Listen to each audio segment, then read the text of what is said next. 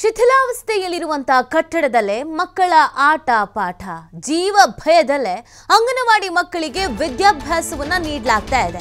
ಕುಸಿಯುವ ಭೀತಿಯಲ್ಲಿ ದೊಡ್ಡ ಕವಲಂದೆ ಗ್ರಾಮದ ಅಂಗನವಾಡಿ ಇದೆ. ನಂಜನಗೂಡು ತಾಲೂಕಿನ ದೊಡ್ಡ ಕವಲಂದೆ ಗ್ರಾಮ, ಗ್ರಾಮದ ಮೂರು ಮತ್ತು ನಾಲ್ಕನೇ ಅಂಗನವಾಡಿ ಕೇಂದ್ರಕ್ಕೆ ಸ್ವಂತ ಕಟ್ಟಡವಿಲ್ಲದೆ ಪರದಾಡುವಂತಹ ಪರಿಸ್ಥಿತಿ ನಿರ್ಮಾಣ ಆಗಿದೆ. ಜೀವ ಭಯದಲ್ಲೇ ಮೂವತ್ತಕ್ಕೂ ಹೆಚ್ಚು ಪುಟಾಣಿ ಮಕ್ಕಳು ವಿದ್ಯಾಭ್ಯಾಸವನ್ನ ಪಡ್ಕೊಳ್ತಾ ಇದ್ದಾರೆ. ನೋಡಿ, ಎಂತ ಪರಿಸ್ಥಿತಿ ಇದೆ ಅಂತ. ಮಕ್ಕಳನ್ನ ಅಂಗನವಾಡಿ ಕಳಿಸ್ಲೇಬೇಕಾದಂತ ಅನಿವಾರ್ಯತೆ. ಆದ್ರೆ ಆ ಅಂಗನವಾಡಿ ಪರಿಸ್ಥಿತಿ ಯಾವ ರೀತಿಯಾಗಿದೆ ಅಂತಂದ್ರೆ ಯಾವಾಗ ಬೇಕಾದರೂ ಬಿದ್ದು ಹೋಗ್ಬೋದು, ಆ ಥರದ ಪರಿಸ್ಥಿತಿ ನೀವು ದೃಶ್ಯದಲ್ಲಿ ಗಮನಿಸ್ತಾ ಇರ್ಬೋದು. ಕುಸಿಯುವ ಭೀತಿಯಲ್ಲಿದೆ. ಆದರೂ ಕೂಡ ಮಕ್ಕಳನ್ನ ಅಲ್ಲಿ ಕಳಿಸ್ತಾ ಇದ್ದಾರೆ. ದಿನಾ ಪೋಷಕರು ಜೀವ ಕೈಯಲ್ಲಿ ಹಿಡ್ಕೊಂಡೇ ಮಕ್ಕಳನ್ನ ಅಂಗನವಾಡಿ ಕಳಿಸ್ಬೇಕಾದಂತ ಪರಿಸ್ಥಿತಿ ಇದೆ. ದೊಡ್ಡ ಕವಲಂದೆ ಗ್ರಾಮದ ಅಂಗನವಾಡಿ ಇದು. ನಂಜನಗೂಡು ತಾಲೂಕಿನ ದೊಡ್ಡ ಕವಲಂದೆ ಗ್ರಾಮ. ಗ್ರಾಮದ ಮೂರ್ನಾಲ್ಕು ಅಂಗನವಾಡಿ ಕೇಂದ್ರಕ್ಕೆ ಸ್ವಂತ ಕಟ್ಟಡವೇ ಇಲ್ಲ. ಪರದಾಡ್ತಾ ಇದ್ದಾರೆ. ಇದ್ರ ಬಗ್ಗೆ ಆಲ್ರೆಡಿ ಸರ್ಕಾರದ ಗಮನಕ್ಕೆ, ಅಧಿಕಾರಿಗಳ ಗಮನಕ್ಕೆ ತರುವಂಥ ಕೆಲಸವನ್ನು ಕೂಡ ಮಾಡಲಾಗಿದೆ. ಆದರೂ ಯಾವುದೇ ರೀತಿಯಾದಂಥ ಪರಿಹಾರ ಆಗಲಿ ಅಥವಾ ಪರ್ಯಾಯ ವ್ಯವಸ್ಥೆ ಆಗಲಿ ಯಾವುದೂ ಕೂಡ ಇಲ್ಲ. ಜೋರಾಗೊಂದು ಮಳೆ ಬಂತು ಅಂತ ಅಂದರೆ ಯಾವಾಗ ಬೇಕಾದರೂ ಈ ಮೇಲ್ಛಾವಣಿ ಕುಸಿದು ಹೋಗ್ಬೋದು. ಆದರೂ ಅಲ್ಲೇ ಮಕ್ಕಳಿದ್ದಾರೆ ಅದ್ರ ಕೆಳಗಡೆನೆ ಮಕ್ಕಳು ಮಲ್ಕೊಂಡಿದ್ದಾರೆ. ನೀವು ನೋಡ್ತಾ ಇರ್ಬೋದು. ಈ ಹಳ್ಳಿಗಾಡು ಪ್ರದೇಶಗಳಲ್ಲಿ ಅಥವಾ ಸಾಮಾನ್ಯ ವರ್ಗದವರು, ಮಧ್ಯಮ ವರ್ಗದವರು ಅಂಗನವಾಡಿಗಳನ್ನು ನೆಚ್ಕೊಂಡಿರ್ತಾರೆ. ತಂದೆ ತಾಯಿ ಇಬ್ಬರು ಕೂಲಿ ಕೆಲಸಕ್ಕೆ ಹೋಗ್ತಾರೆ ಅಥವಾ ಕೆಲಸಕ್ಕೆ ಹೋಗ್ತಾರೆ ಮಕ್ಕಳನ್ನ ಅಲ್ಲಿ ಕರ್ಕೊಂಡು ಹೋಗೋಕ್ಕಾಗೋದಿಲ್ಲ. ಮಧ್ಯಾಹ್ನದವರೆಗೂ ಒಂದು ಅಂಗನವಾಡಿಯಲ್ಲಿ ಬಿಟ್ಬಿಡ್ಬೋದು. ಹೆಂಗೂ ಅಲ್ಲಿ ನೋಡ್ಕೊಳ್ಳೋಕ್ಕೆ ಅಂತ ಇರ್ತಾರೆ. ಊಟದ ವ್ಯವಸ್ಥೆ ಇರುತ್ತೆ. ನಮ್ಮ ಜೊತೆ ಯಾಕೆ ಮಕ್ಕಳನ್ನ ಬಿಸಿಲಲ್ಲಿ, ಮಳೆಲಿ, ಗಾಳಿಲಿ ಈ ಕೂಲಿ ಕೆಲಸಕ್ಕೆಲ್ಲ ಕರ್ಕೊಂಡು ಹೋಗೋದು? ಅಂಗನವಾಡಿಗೆ ಕಳಿಸೋಣ. ಅಲ್ಲಿ ಹೇಳ್ಕೊಡ್ತಾರೆ, ವಿದ್ಯಾಭ್ಯಾಸನೂ ಕಲ್ತಂಗಾಗತ್ತೆ ಮಕ್ಕಳು ಕೂಡ ಸೇಫ್ಟಿಯಾಗಿರ್ತಾರೆ ನಾವು ಬರೋದ್ರವರೆಗೂ ಅನ್ನೋದೊಂದು ನಂಬಿಕೆಯಿಂದ ಕಳಿಸ್ತಾರೆ. ಇಲ್ಲಿಗೆ ಈ ಅಂಗನವಾಡಿಗಳಿಗೆ ಯಾರ ಮಕ್ಕಳನ್ನು ಕಳಿಸ್ತಾರೆ ಹೇಳಿ? ಮಧ್ಯಮ ವರ್ಗದವರನ್ನ ಬಡವರ್ಗದವರನ್ನ ಕೂಲಿ ಕಾರ್ಮಿಕರ ವರ್ಗದವರನ್ನ, ಮಧ್ಯಮ ವರ್ಗದವರು ತೀರಾ ಕಡಿಮೆ ಅಂಗನವಾಡಿಗೆ ಕಳಿಸೋದು. ಎಲ್ಲ ಪ್ಲೇ ಹೋಮು, ಇನ್ನೊಂದು, ಮತ್ತೊಂದು ಇಂಥಲ್ಲಿ ಕಳಿಸ್ತಾರೆ. ಆದರೆ ಈ ಈ ಅಂಗನವಾಡಿಗೆ ಬರೋ ಮಕ್ಕಳುಗಳಿಗೆ ಯಾರು ಹೇಳಿ? ಬಟ್ ವ್ಯವಸ್ಥೆ ನೋಡಿ ಅಲ್ಲಿ ಯಾವ ಥರ ಇದೆ ಅಂತ. ಫಸ್ಟ್ ಆಲ್ರೆಡಿ ಬೇರೆಯವ್ರದ್ದು ಇದು ಗೌರ್ಮೆಂಟ್ದೆ ಆದರೆ ಮೊದಲೇ ಶೀತಲ ಸ್ಟಾರ್ಟಿಂಗಲ್ಲೇ ಆಗಿತ್ತು. ಅದರಲ್ಲಿ ಜಾಗ ಇರಲಿಲ್ವಲ್ಲ, ಅದಕ್ಕೋಸ್ಕರ ಈ ಮಕ್ಕಳನ್ನ ತಂದು ಕೂರಿಸಿದ್ದಾರೆ ನಮ್ಮ ಮಕ್ಕಳನ್ನ ಬಿಲ್ಡಿಂಗ್ ಬೇರೆ ಇದೆ. ಅದನ್ನು ಡೆಮಾಲಿಷ್ ಮಾಡಿ ಹೊಸದಾಗಿ ಕಟ್ತಾ ಇದ್ದಾರೆ. ಕಟ್ಟಾಗಿದೆ ಅಂದರೆ ನಾಲ್ಕು ವರ್ಷದಿಂದನೂ ಕಟ್ತಾ ಇದ್ದಾರೆ ಸರ್ ನಾಲ್ಕು ವರ್ಷದಿಂದ ಈಗ ಅದು ಡೆಮಾಲಿಷ್ ಆಗಿ ಬೀಳೋ ಮಟ್ಟದಲ್ಲಿದೆ. ಮಳೆ ಬಂದರೆ ಈ ಮಕ್ಕಳೆಲ್ಲ ಮೇಲ್ಗಡೆಯಿಂದ ಬೀಳ್ತದೆ. ಆ ಥರ ಆಗಿ ನಾವು ನಾಲ್ಕು ವರ್ಷ ಹಿಂದೆನೇ ಅದಕ್ಕೆ ಅಪ್ಲಿಕೇಶನ್ ಹಾಕಿ ಏನೋ ಮಾಡಿದ್ರು. ಉದ್ಯೋಗ ಖಾತ್ರಿ ಮಾಡಿಸ್ತೀವಿ ಅಂತ ಹೇಳಿದ್ರು. ಆದರೂ ನಾಲ್ಕು ವರ್ಷದಿಂದ ಉದ್ಯೋಗ ಖಾತ್ರಿ ಉದ್ಯೋಗ ಖಾತ್ರಿ ಅಂತಾನೆ ಅಲ್ಲಿ ಬೋರ್ಡ್ ಹಾಕಿ ಎಲ್ಲ ಆಗೋಗಿದೆ ಬಿಲ್ಗಳು. ಆದರೂ ಇನ್ನೂ ಬಿಲ್ಡಿಂಗೇ ಸ್ಟಾರ್ಟ್ ಮಾಡಿಲ್ಲ. ನೀವು ಒಂದು ಸ್ವಲ್ಪ ಮೇಲಧಿಕಾರಿಗಳನ್ನ ಇದು ಮಾಡಿ ಸ್ವಲ್ಪ ಮಾಡಿಸಿದ್ರೆ ನಮ್ಮ ಮಕ್ಕಳನ್ನ ಇದಾಗಿದೆ ಏನೋ ನಿಮ್ಮಿಂದ ನಾವು ಕೇಳ್ಕೊತಾ ಇದ್ದೀವಿ ಸರ್, ನಾವು ಏನೇನೋ ಪ್ರಯತ್ನ ಮಾಡ್ದೋ ಆದ್ರೂ ಪ್ರಯತ್ನ ವಿಫಲ ಆಗೋಯಿತು. ಇಲ್ಲಿ ಪಿ ಡಿ ಒ ಪ್ರಾಬ್ಲಮ್ ಇತ್ತು, ಆ ಪ್ರಾಬ್ಲಮ್ ಇತ್ತು, ಈ ಪ್ರಾಬ್ಲಮ್ ಇತ್ತು ಅಂತ ಹೇಳ್ತಾರೆ ಸರ್. ನಾವು ಮೇಡಮ್ಗಳ ಮೇಲೆ ಎಷ್ಟಂತ ಜೋರು ಮಾಡೋಕ್ಕೈತಿದೆ ನಾವು ಮಕ್ಕಳೆಲ್ಲ ಕರ್ಕೊಬಂದು ಇಲ್ಲಿ ಬೆಳಗ್ಗೆನೆ ಅವ್ರ ಜವಾಬ್ದಾರಿಯಿಂದ ಬಿಟ್ಬಿಟ್ಟು ಹೋಗ್ತೀವಿ ಬಿಲ್ಡಿಂಗೇ ಈ ಥರ ಆದರೆ ಪಾಪ ಮೇಡಮ್ಗಳು ಜವಾಬ್ದಾರಿ ಮಾಡೋಕ್ಕೈತದ ಅವ್ರಿಗೆ ನಲ್ವತ್ತು ಥರ ಕೆಲಸ ಕೊಟ್ಟಿರ್ತಾರೆ ಸರ್ ಗೌರ್ಮೆಂಟಿಂದ. ಫಸ್ಟೇ ಇದು ಮಾಡು ಅದು ಮಾಡು ಅದು ಮಾಡು ಅಂತ ಮಕ್ಕಳನ್ನ ನೋಡ್ಕೋಬೇಕಾ? ಏನು ಬಿಲ್ಡಿಂಗ್ ನೋಡ್ಕೋಬೇಕಾ? ಏನು ಅನ್ನ ತಿನ್ನಿಸ್ಬೇಕಾ? ಏನು ಬರೆಸ್ಬೇಕಾ? ಏನು ಸರ್ ನೀವೇ ನೋಡಿ. ಮೇಡಮ್ಗಳಿಗೂ ಹೇಳೋಕ್ಕಾಗಲ್ಲ ನಾವು. ಮೇಡಮ್ ಮೇಲೇನೂ ಹೇಳೋಕ್ಕಾಗಲ್ಲ. ಸ್ವಲ್ಪ ನೀವೇ ಮುಂದೆ ಬಂದು ಮೇಲಧಿಕಾರಿಗಳು ಸ್ವಲ್ಪ ಏನೋ ಮಾಡಿದ್ರೆ ಆಯ್ತು ಸರ್ ದಯವಿಟ್ಟು.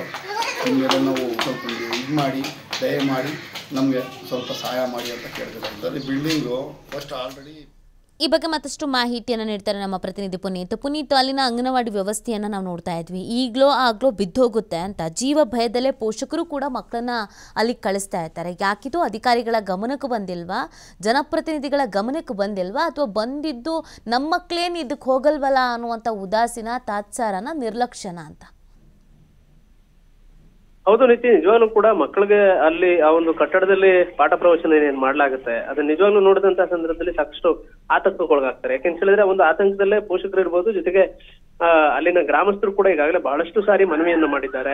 ಎರಡೂ ಕಟ್ಟಡಗಳನ್ನ ಸರಿಪಡಿಸಬೇಕು ಅಂತ ಅಂತ ಹೇಳಿ ಮನವಿಯನ್ನು ಮಾಡಿದ್ರು ಕೂಡ ಯಾವುದೇ ರೀತಿಯಾದಂತಹ ರೆಸ್ಪಾನ್ಸ್ ಅವರಿಗೆ ಸಿಗ್ತಾ ಇಲ್ಲ. ಯಾಕೆಂತ ಹೇಳಿದ್ರೆ ಇಲ್ಲಿ ಅಧಿಕಾರಿಗಳ ನಿರ್ಲಕ್ಷ್ಯತನ ಜೊತೆಗೆ ಜನಪ್ರತಿನಿಧಿಗಳ ಒಂದು ನಿರ್ಲಕ್ಷ್ಯತನವು ಕೂಡ ಕಂಡು ಬರುತ್ತೆ. ಯಾಕೆಂತ ಹೇಳಿದ್ರೆ ಚುನಾವಣೆಯ ಸಂದರ್ಭದಲ್ಲಿ ಅಷ್ಟೇ ಜನಸಾಮಾನ್ಯರು ಅವರಿಗೆ ನೆನಪಿಗೆ ಬರ್ತಾರೆ. ವಿನಃ ಬಾಕಿ ಸಂದರ್ಭಗಳಲ್ಲಿ ಅಧಿಕಾರಕ್ಕೆ ಬಂದ ನಂತರ ಅವ್ರ ಯಾರಿಗೂ ಕೂಡ ಜನ ಕಾಣ್ಲಿಕ್ಕಿಲ್ಲ ಅನ್ನೋದು ಈ ಒಂದು ಘಟನೆಯಲ್ಲಿ ಘಟನೆಯನ್ನು ನೋಡಿದಂತ ಸಂದರ್ಭದಲ್ಲೂ ಕೂಡ ಖಾತ್ರಿ ಆಗುತ್ತೆ. ಯಾಕಂತ ಹೇಳಿದ್ರೆ, ಈ ಒಂದು ದೊಡ್ಡ ಕವಲಂದ ಏನಿದೆ, ನಂಜನಗೂಡು ತಾಲೂಕಿನಲ್ಲಿ ಬರತಕ್ಕಂತ ಈ ಒಂದು ಗ್ರಾಮದಲ್ಲಿ ಈಗಾಗಲೇ ಏನು ಈ ಶಾಲೆಯ ಈ ಒಂದು ಅಂಗನವಾಡಿ ಕಟ್ಟಡಗಳೇನಿದ್ದಾವೆ ಈ ಕಟ್ಟಡಗಳು ಆಗ್ತಾ ಇರತಕ್ಕಂತ ಸಮಸ್ಯೆ ಬಗ್ಗೆ ಎಷ್ಟೇ ದೂರುಗಳನ್ನು ನೀಡಿದ್ರು ಕೂಡ ಅದಕ್ಕೆ ಗಮನ ಕೊಡ್ತಕ್ಕಂತ ಕೆಲಸವನ್ನ ಇದುವರೆಗೂ ಕೂಡ ಮಾಡ್ತಾ ಇಲ್ಲ. ನಂಜನಗೂಡು ತಾಲೂಕಿನ ದೊಡ್ಡಕವಲಂದೆ ಗ್ರಾಮದಲ್ಲಿ ಇರತಕ್ಕಂತ ಎರಡು ಅಂಗನವಾಡಿಗಳೇನಿದ್ದಾವೆ ಎರಡೂ ಕೂಡ ಕುಸಿದು ಬೀಳುವಂತಹ ಹಂತದಲ್ಲಿ ಇರತಕ್ಕಂಥದ್ದು ಹೀಗಾಗಿ ಗ್ರಾಮದ ಮೂರು ಮತ್ತು ನಾಲ್ಕನೇ ಅಂಗನವಾಡಿ ಕೇಂದ್ರಗಳಿದ್ದಾವೆ ಇವು ಸ್ವಂತ ಕಟ್ಟಡವೂ ಕೂಡ ಇಲ್ಲ. ಹೀಗಾಗಿ ಈ ಒಂದು ದುರಸ್ತಿಯಲ್ಲಿರ್ತಕ್ಕಂಥ, ಅಂದ್ರೆ ಕಟ್ಟಡವನ್ನ ಪೂರ್ಣ ಪ್ರಮಾಣದಲ್ಲಿ ಕಟ್ಟಲಿಕ್ಕೆ ಇನ್ನೂ ಆಗದೇ ಇರುವಂತಹ ಕಟ್ಟಡದಲ್ಲಿ ಮಕ್ಕಳಿಗೆ ಪಾಠ ಪ್ರವಚನವನ್ನು ಮಾಡಲಾಗ್ತಾ ಇದೆ.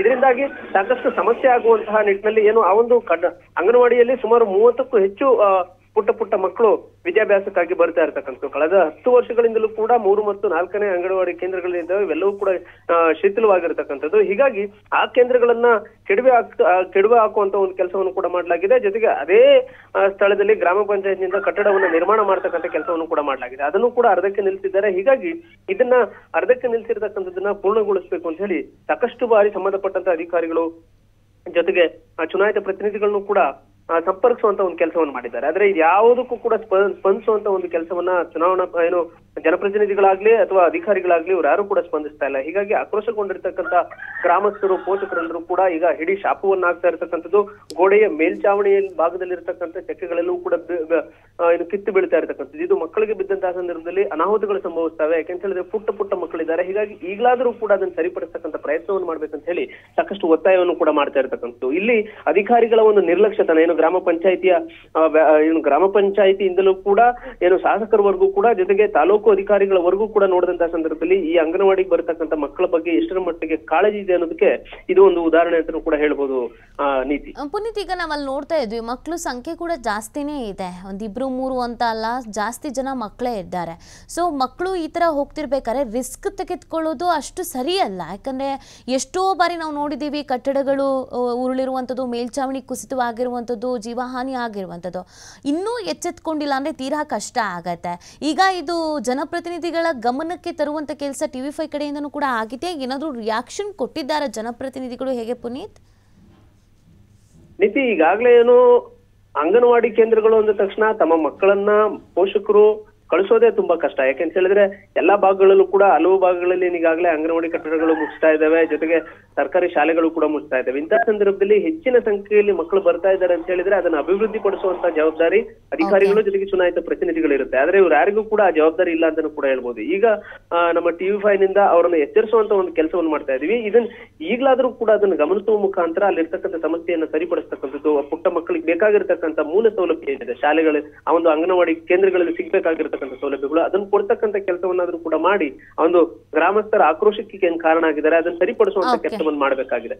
ಧನ್ಯವಾದ ಪುನೀತ್ ಡೀಟೇಲ್ಸ್ ಡೀಟೇಲ್ಸ್ಗಾಗಿ ಈ ಬಗ್ಗೆ ಮಾತನಾಡಲಿಕ್ಕೆ ಇಲ್ಲಿನ ಗ್ರಾಮಸ್ಥರಾದಂತಹ ವಸೀಂ ಶರೀಫ್ ಅವರು ನಮ್ಮ ಜೊತೆ ದೂರವಾಣಿ ಸಂಪರ್ಕದಲ್ಲಿದ್ದಾರೆ. ವಸೀಂ ಅವರ ನಮಸ್ತೆ. ಸರ್ ನಾವು ಅಲ್ಲಿನ ದೃಶ್ಯ ನೋಡ್ತಾ ಇದ್ವಿ ಅಂಗನವಾಡಿದು ಯಾವ ರೀತಿ ಆಗಿದೆ ಅಂತ. ನಿಜವಾಗ್ಲೂ ಭಯ ಆಗತ್ತೆ. ಸಣ್ಣ ಸಣ್ಣ ಮಕ್ಕಳು ಇದ್ದಾರೆ ಅಂತ ಅಂದ್ರೆ ಇನ್ನೂ ಪೋಷಕರಿಗೆ ಆತಂಕನೇ ಆಗತ್ತೆ. ಯಾಕೆ ಈ ತರ ಸಮಸ್ಯೆ ಇದೆ? ಎಷ್ಟು ವರ್ಷದಿಂದ ಈ ತರ ಸಮಸ್ಯೆ ಇದೆ? ಯಾಕೆ ಸರಿ ಹೋಗ್ತಾ ಇಲ್ಲ ಅಂತ ಜನಪ್ರತಿನಿಧಿಗಳು ಮತ್ತು ಅಧಿಕಾರಿಗಳು ಏನ್ ಹೇಳ್ತಾರೆ ಸರ್?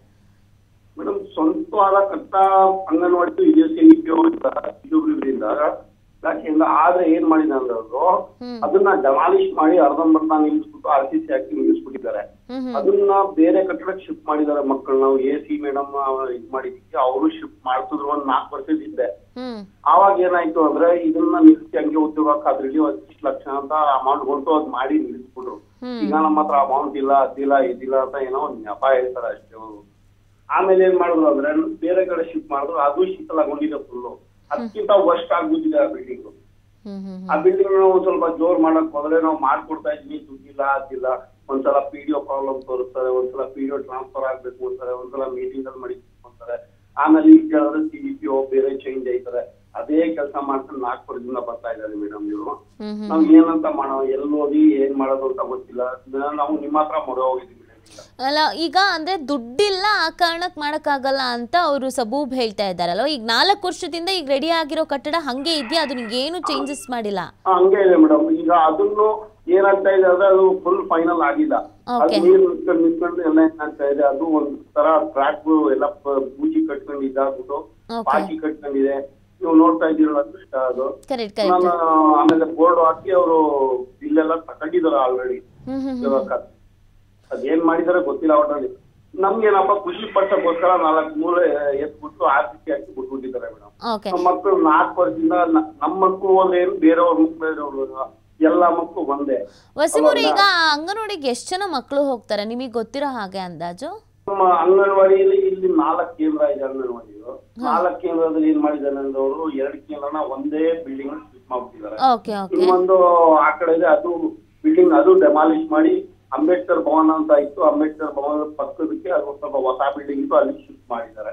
ಓಕೆ ಅದು ಓಕೆ ಅದು. ಈಗ ಇನ್ನು ಮೂರು ಕೇಂದ್ರಗಳಿಗೆ ಬಿಲ್ಡಿಂಗೇ ಇಲ್ಲ. ಅವ್ರು ಡಮಾಲಿಶ್ ಮಾಡಿ ಹಂಗೆ ಬಿಡ್ಬಿಟ್ಟು ಆ, ಹೊಸ ಕಟ್ಟಡ ಮಾಡ್ಕೊಡ್ತೀನಿ ಅಂತ ಹೇಳಿ ಸ್ವಲ್ಪ ನೆಪ ಮಾಡಿ ಕೂತಿದ್ದಾರೆ. ಈಗ ವಸಿಮೂರಿ ಈಗ ಕಟ್ಟಡ ಅಂತೂ ಕರೆಕ್ಟ್ ಇಲ್ಲ. ಹೋಗ್ಲಿ ಈಗ ಮಕ್ಕಳಿಗೆ ಅಂತ ಒಂದಷ್ಟು ಯೋಜನೆಗಳಿದೆಯಲ್ವಾ? ಫುಡ್ ಕೊಡೋದಾಗಿರ್ಬೋದು ಇನ್ನೊಂದು ಮತ್ತೊಂದು. ಅದಾದ್ರೂ ಸಿಗ್ತಾ ಇದೆಯಾ ಈ ಮಕ್ಕಳಿಗೆ ಅಥವಾ ಅದು ಇಲ್ವಾ ಹೇಗೆ ಅಂತ? ಒಳ್ಳೆ ಕೆಲಸ ಮಾಡ್ತಾ ಇದಾರೆ ಅವರು. ಅದ್ರ ಬಗ್ಗೆ ಏನು ನಮ್ಗೆ ಇಲ್ಲ ಮೇಡಮ್. ಪಾಪ ಮಾಡ್ತಾ ಇದಾರೆ ಮೇಡಮ್ಗಳಿಗೂ ನಾವು ಹೇಳೇಬಾರ್ದು ಅವ್ರಿಗೆ ಐದ್ ನಿಮಿಷನೂ ಟೈಮ್ ಕೊಡಲ್ಲ. ಸರ್ಕಾರದಿಂದ ಒಂದ್ ಸಾವಿರ ಜಾಸ್ತಿ ಮಾಡಿದ್ರೆ ನಲ್ವತ್ ಕೆಲಸ ಮುಂದಕ್ಕೆ ಕೊಡ್ತಾರೆ ಅವ್ರಿಗೆ. ಅದ್ ನಾವು ಹೇಳಕ್ಕಾಗಲ್ಲ ಮೇಡಮ್. ಕಟ್ಟದ್ ಬಂದು ಚಿಂತೆ ಮಾಡ್ಬೇಕಷ್ಟೇ ಮಕ್ಕಳು ಓಕೆ ಓಕೆ, ಧನ್ಯವಾದ ವಸಿಮೋರ ಟಿ ವಿ ಫೈ ಜೊತೆಗೆ ಮಾತನಾಡಿದ್ದಕ್ಕೆ. ನೋಡಿ, ಅಲ್ಲಿನ ಗ್ರಾಮಸ್ಥರು ಕೂಡ ಬಹಳ ಬೇಸರದ ಮಾತುಗಳನ್ನು ಆಡ್ತಾ ಇದ್ದಾರೆ. ಇದು ನಾಲ್ಕು ವರ್ಷದಿಂದ ಇದೇ ರೀತಿ ಆಗಿದೆ ಆ ಕಟ್ಟಡ, ಈ ಕಟ್ಟಡ ಅಂತ ಕಳಿಸ್ತಾರೆ. ಅದು ಎಲ್ಲ ಇನ್ನೂ ತೀರಾ ಹಾಳಾಗಿ ಹೋಗಿರುವಂಥ ಕಟ್ಟಡಗಳು. ದುಡ್ಡಿಲ್ಲ ಅಂತಾರೆ, ಅಧಿಕಾರಿಗಳು ಚೇಂಜ್ ಆದರು ಅಂತ ಅಂತಾರೆ ಟ್ರಾನ್ಸ್ಫರ್ ಆಗಬೇಕು ಅಂತಾರೆ. ಒಂದಲ್ಲ ಒಂದು ರೀಸನ್ಸ್ಗಳನ್ನು ಹೇಳ್ತಿದ್ದಾರೆ. ಬಿಟ್ಟರೆ ಸರಿ ಮಾಡ್ತಾ ಇಲ್ಲ ಅಂತ. ನೋಡಿ, ಅಲ್ಲಿನ ಜನಪ್ರತಿನಿಧಿಗಳಾಗಿರ್ಬೋದು ಅಧಿಕಾರಿಗಳು. ಆದಷ್ಟು ಬೇಗ ಎಚ್ಚೆತ್ಕೊಂಡು ಏನಿದೆ ಇದನ್ನು ಕ್ಲಿಯರ್ ಮಾಡಿದ್ರೆ ಒಳ್ಳೆಯದು ಯಾಕಂದರೆ ನೀವು ಭವಿಷ್ಯದ ಪ್ರಜೆಗಳ ಜೊತೆಗೆ ಅವರ ಭವಿಷ್ಯ ಉಜ್ವಲವಾಗಿರಬೇಕು ಅನ್ನುವಂಥ ನಿಟ್ಟಿನಲ್ಲಿಗೆ ವಿದ್ಯಾಭ್ಯಾಸವನ್ನು ಕೊಡಿಸೋದು, ಅಂಗನವಾಡಿಗೆ ಕಳಿಸೋದು. ಅಲ್ಲಿ ಮೂಲನೇ ಸರಿ ಇಲ್ಲ ಅಥವಾ ತಳಪಾಯನೇ ಸರಿ ಇಲ್ಲ ಅಂತ ಅಂದರೆ ಸಮಸ್ಯೆ ಎಷ್ಟು ಮಟ್ಟಿಗೆ ಆಗ್ಬೋದು ಮತ್ತು ಈ ಥರದ ಒಂದು ಕಟ್ಟಡದಲ್ಲಿ ಮಕ್ಕಳಿಗೆ ಹೇಗೆ ನೋಡ್ಕೊಳ್ಳೋಕೆ ಸಾಧ್ಯ? ಯಾವಾಗ ಏನು ಬೇಕಾದರೂ ಆಗ್ಬೋದು. ಒಂದು ವೇಳೆ ಅನಾಹುತಗಳು ನಡೆದುಬಿಟ್ರೆ ಸಂಭವಿಸಿಬಿಟ್ರೆ ಅದರ ಹೊಣೆಯನ್ನು ಯಾರು ಹೊತ್ಕೊಳ್ತಾರೆ? ಏನು ದುಡ್ಡಿಲ್ಲ? ಬೇರೆ ಎಲ್ಲದಕ್ಕೂ ದುಡ್ಡಿದೆ. ಈ ಕಟ್ಟಡವನ್ನು ನಿರ್ಮಾಣ ಮಾಡೋದಕ್ಕೆ ಅಥವಾ ಸರಿ ಮಾಡೋದಕ್ಕೆ ದುಡ್ಡಿಲ್ಲ ಅಂತ ಯಾಕೆ ಸಬೂಬ್ ಕೊಟ್ಕೊಂಡು ಹೋಗ್ತಾ ಇದ್ದೀರಾ? ಅದು ಒಂದೆರಡಲ್ಲ, ನಾಲ್ಕು ವರ್ಷದಿಂದ ಆದಷ್ಟು ಬೇಗ ಎಚ್ಚೆತ್ಕೊಂಡು ಅಧಿಕಾರಿಗಳು ಮತ್ತು ಜನಪ್ರತಿನಿಧಿಗಳು ಈ ಕಟ್ಟಡವನ್ನು ಸರಿ ಮಾಡಬೇಕು.